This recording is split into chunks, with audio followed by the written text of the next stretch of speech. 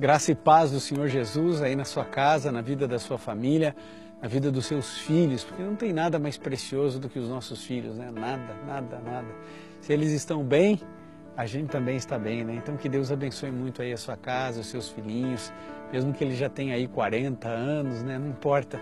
Sempre serão nossos filhos amados e a gente sempre vai se preocupar com eles. O texto para a reflexão de hoje está aqui no Salmo 34, no verso 7, e a Bíblia diz assim: O anjo do Senhor acampa-se ao redor dos que o temem e os livra. O anjo do Senhor acampa-se ao redor daqueles que temem ao Senhor. Deus dá ordem aos seus anjos para que guardem você e os teus filhos.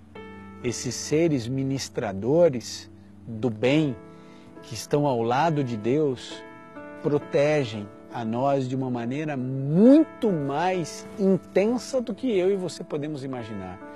Eles são tão reais quanto você e quanto a mim. Embora eu não possa vê-los, não possa tocá-los, eles existem, são reais e observam as ordens, os mandamentos do Criador. E o anjo da guarda está aí do seu lado. Por isso, no momento da aflição, do medo, do pavor, clame a Deus para que mande os anjos lhe socorrerem.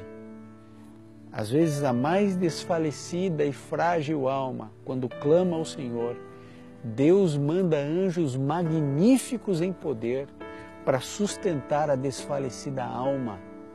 Creia que a palavra do Senhor não mente, que esses seres são reais e que eles estão aí perto de você, anjos do bem. Agora, existem também anjos do mal, a Bíblia diz. O Apocalipse declara que um terço dos anjos que eram bons se tornaram maus e se transformaram em demônios. Esse é o grande conflito entre o bem e o mal. Que no seu lar só existam anjos do bem. Vamos juntos orar.